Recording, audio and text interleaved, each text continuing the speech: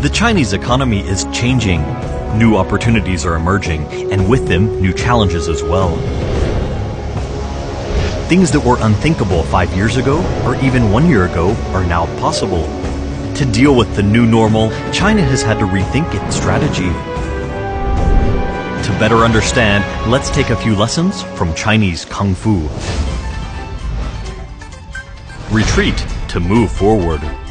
One of the most difficult things to understand about Kung Fu is how a series of simple, slow, and gentle movements can contain such strong power.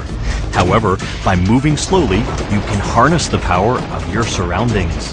Managing the Chinese economy will also require this kind of deliberate action.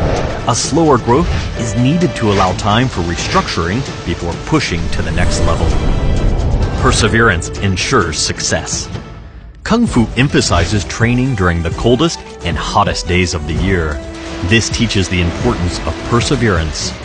Similarly, to take advantage of positive changes in the Chinese economy, such as new structures of supply and demand and increased consumption, persistence in supply side reforms, urbanization, entrepreneurship, and development of the service industry are all essential.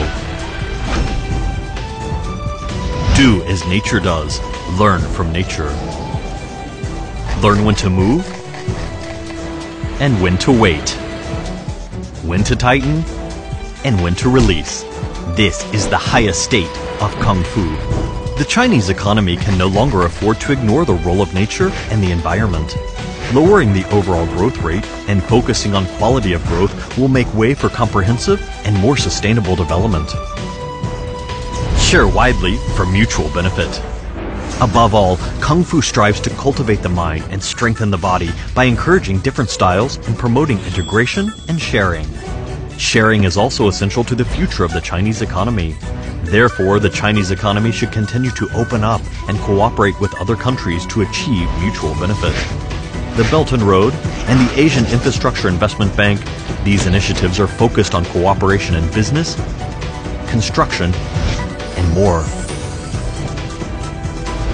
In Chinese, the basic meaning of Kung Fu is time. With time, anyone can understand Chinese Kung Fu, and yes, even the Chinese economy.